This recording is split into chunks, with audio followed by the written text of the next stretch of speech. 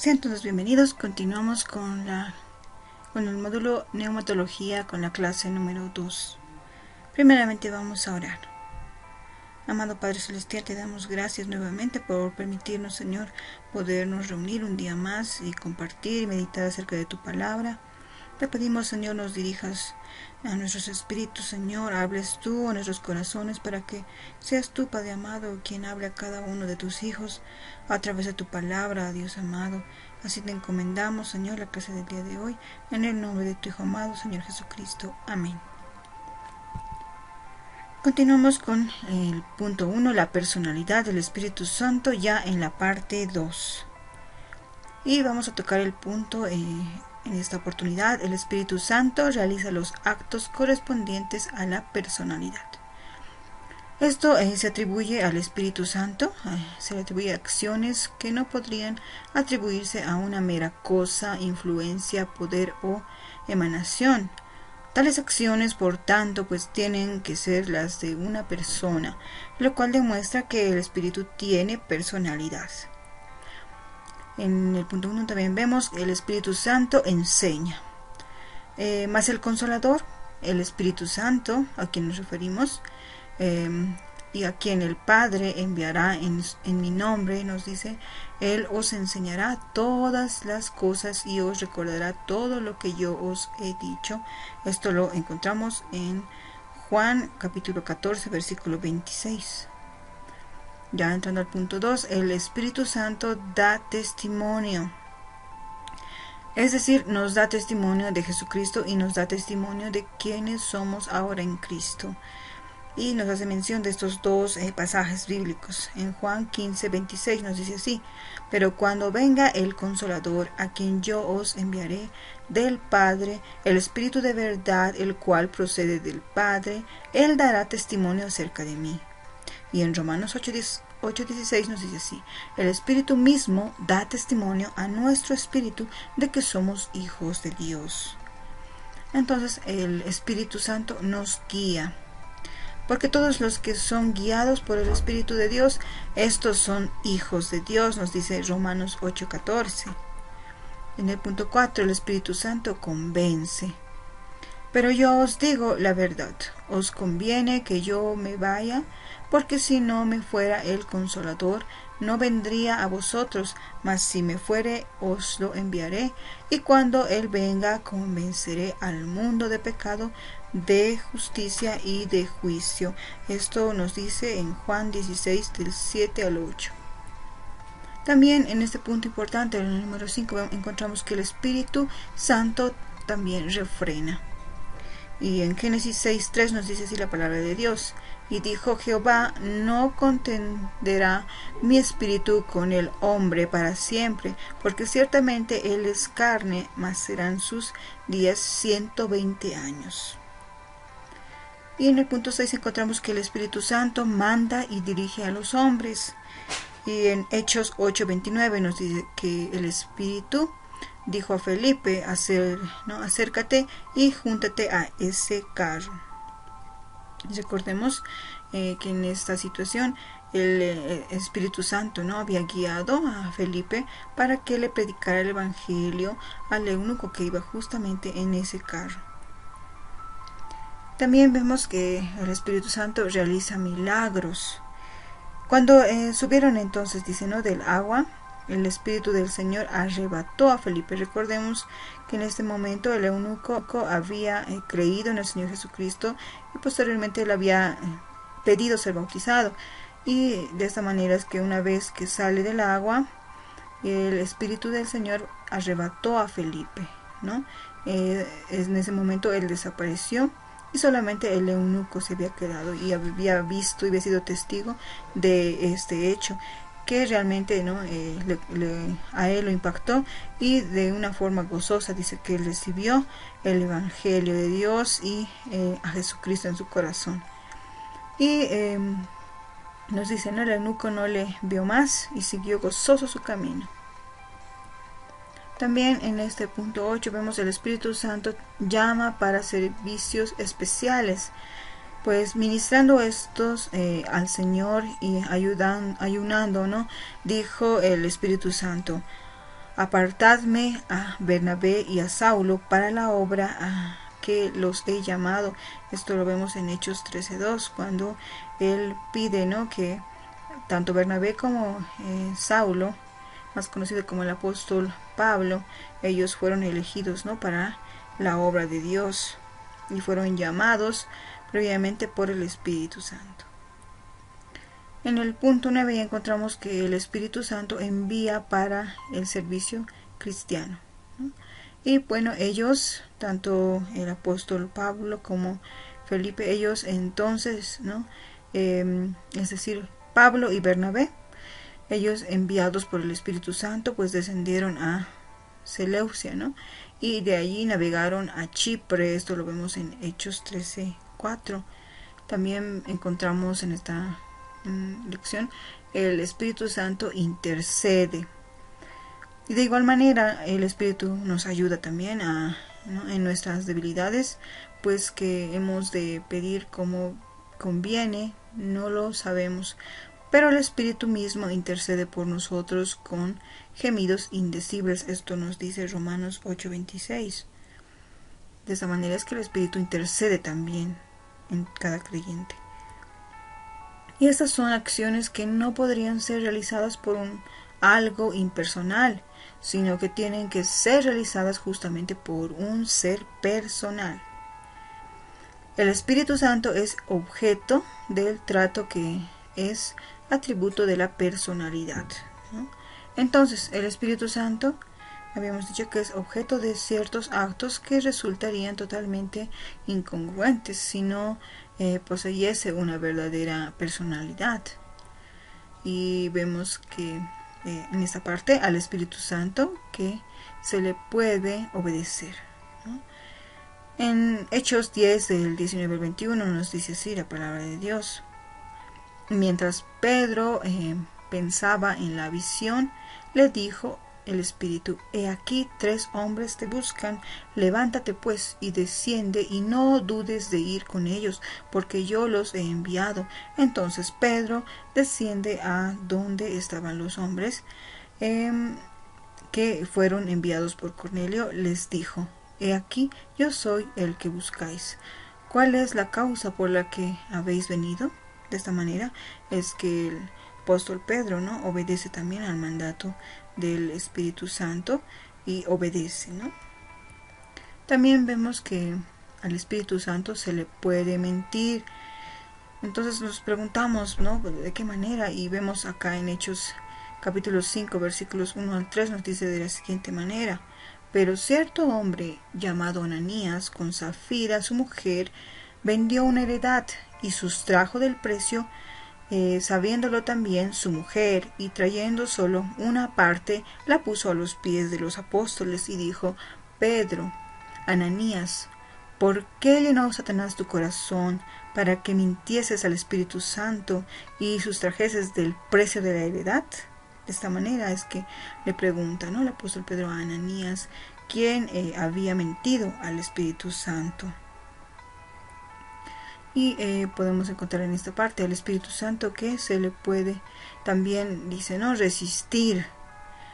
De qué manera entonces lo vemos esto en Hechos 7:51 donde nos dice duros de cerviz e incircuncisos de corazón y de oídos eh, vosotros resistís siempre al Espíritu Santo como vuestros padres así también vosotros no entonces acá encontramos no que también se le puede resistir al Espíritu. Y encontramos en el punto 4 al Espíritu Santo que se le puede contristar también. ¿Y en qué parte encontramos esto? En Efesios 4:30. Y nos dice así la palabra de Dios. Y no contristéis al Espíritu Santo de Dios, con el cual fuisteis sellados para el día de la redención. De esta manera, ¿no? Nos dice este texto que se puede contristar al Espíritu Santo. También al Espíritu Santo se le puede blasfemar, ¿no?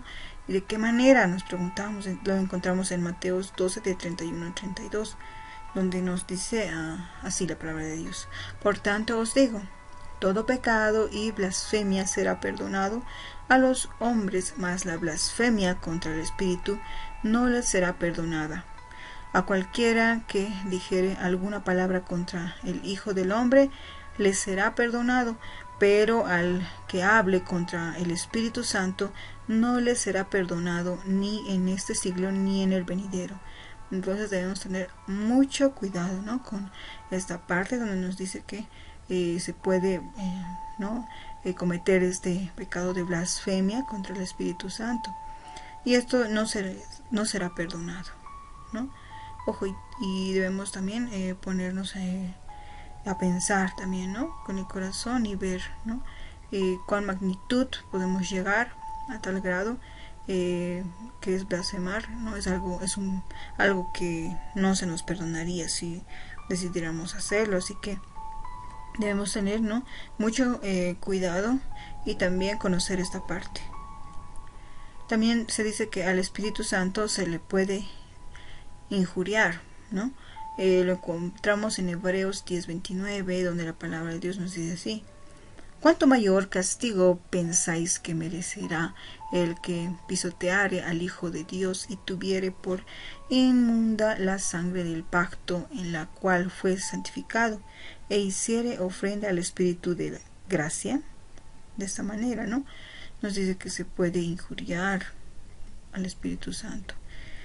¿No? Y em, también, ¿no? Como ya se ha dicho, Actuar de las diversas formas mencionadas con una influencia sería algo realmente inusitado. ¿no? Por tanto, dichos actos atribuyen personalidad a aquel a quien están dirigidos. También vale decir al Espíritu Santo. Entonces debemos tener precaución con todo esto. ¿no? Y ya pasamos al punto 2, donde nos dice las ramificaciones de la doctrina de la personalidad. Entonces nos encontramos con este punto muy importante, con la relación a la idea de la personalidad del Espíritu Santo. Entonces, quienes se oponen a la personalidad del Espíritu Santo con frecuencia se equivocan con la definición básica que dan de la personalidad. La definen en base a lo que se conoce de la personalidad humana, pero toda personalidad humana es imperfecta. Recordemos, ¿no? la personalidad humana es imperfecta.